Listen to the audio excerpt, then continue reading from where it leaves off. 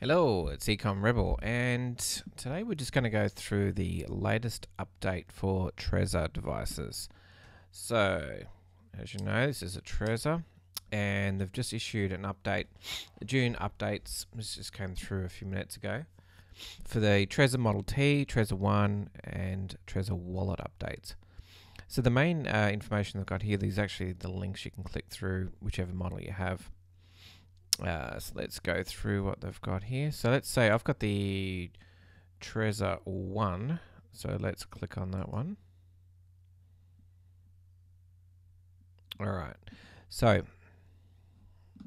first thing they're looking at doing is Zcash.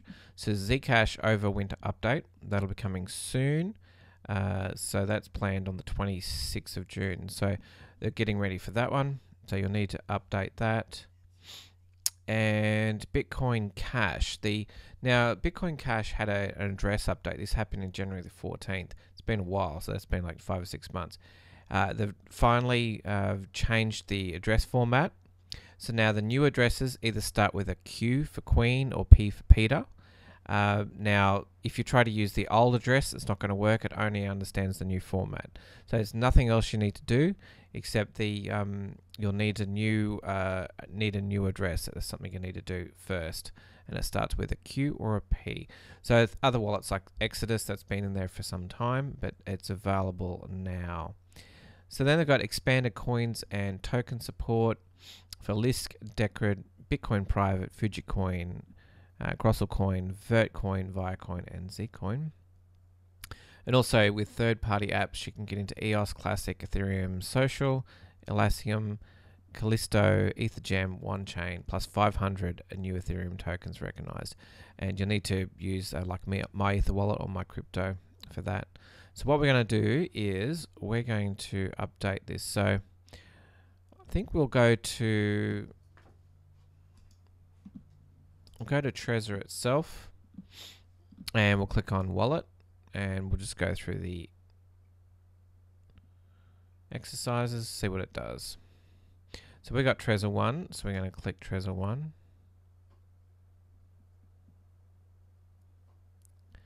just loading the wallet now. So the first thing is it says is new bridge available.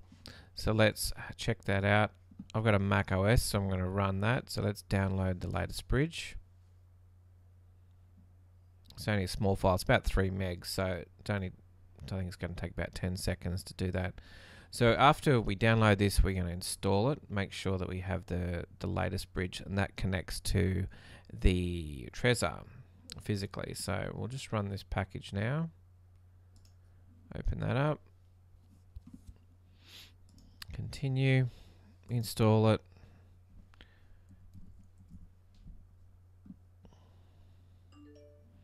Successfully done.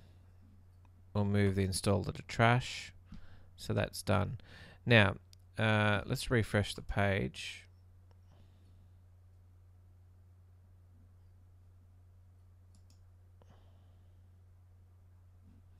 Let's try that again. We'll go to the wallet itself.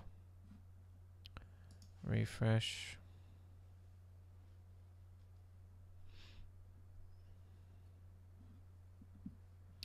Okay, so now it says connect your Trezor to continue.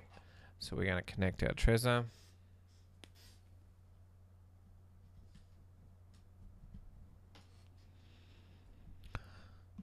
Alright, so that's lighting up.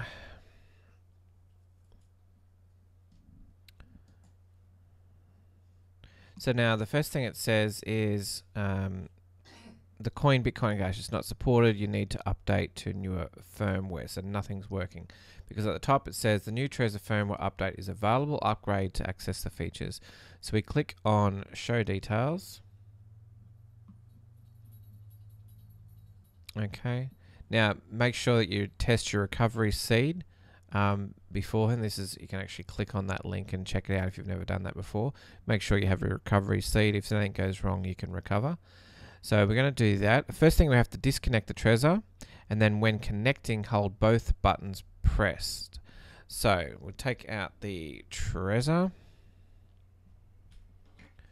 So we've got the two buttons. We're going to hold those both down and put in the slot.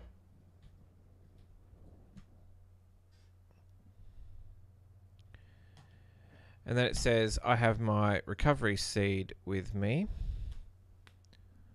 So we're going to tick that box and click update my device. So this will download the latest firmware. Now make sure um, that you know it is secure before you do this process. Make sure you got the green lock and you're attached to wallet.trezor.io. Now then it's please please confirm firmware install. So on the actual device itself it says install new firmware. Okay, and press continue.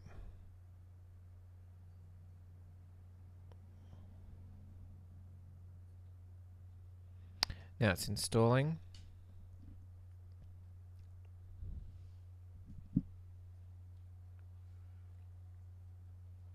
Please confirm the firmware fingerprint on the Trezor.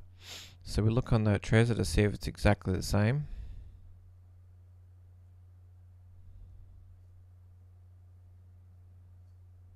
And it is. So then we press continue on the Trezor. New firmware successfully installed. You may unplug your Trezor. So you now need to reconnect. So we take it out. And we put it back in.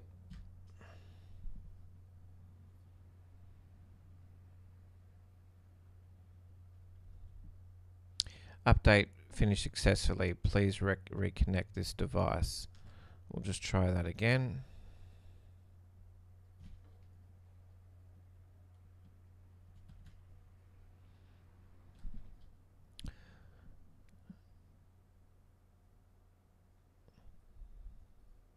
So then it says uh, recover wallet or create new wallet. So we need to recover wallet and we want to do the 24 words. Okay. And we press continue. Then you'll need to confirm that on your Trezor.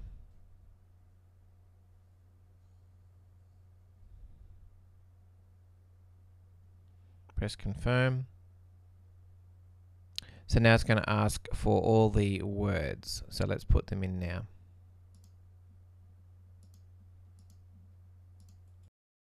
We type the first one in, it's actually giving us random uh, positions. So it, it'll tell you to enter, enter in like the first or the third or the fifth word and then it will continue. So it's completely random.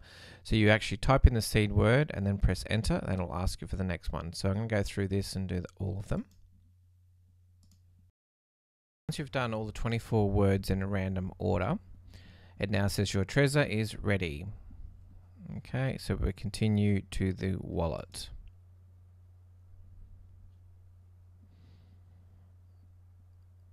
All right, so everything's back there. It's got all the accounts and all the information and everything back the way it was, and we've updated the firmware. So just remember to do this exercise, you need to have your recovery seed. Uh, for when you do the firmware update, you need that to restore it. Okay, so if you're not sure or haven't tested that, make sure you um, do the test first to make sure that works, and then you know that you can recover it doing this process. Okay, so I think that's all I need to cover in this video. Uh, until next time, talk to you then. Bye.